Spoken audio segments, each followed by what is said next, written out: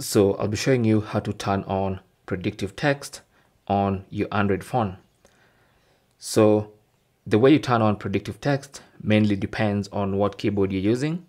But assuming we're using the default Android keyboard, which is Google keyboard, then here's how to turn on predictive text. So what you want to do is go to your Gboard or Google keyboard settings. The easiest way to do that for most Android phones is by going to settings. Just go back to the main settings page.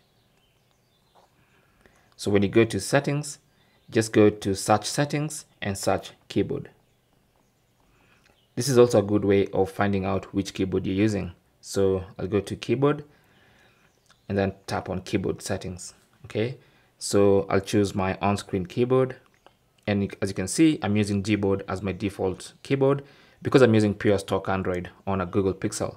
So like I said, it might be slightly different for different Android phones.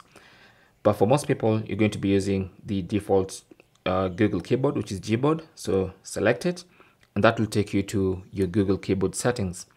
Now here, what you want to do is tap on text correction, and then you want to enable show suggestion strip. That is predictive text. So if you enable that, you're basically turning on predictive text.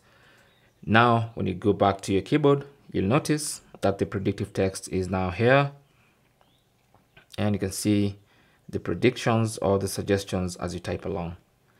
And that is basically how to turn on predictive text on your Android phone. Thanks for watching. Leave your comments and questions down below and good luck.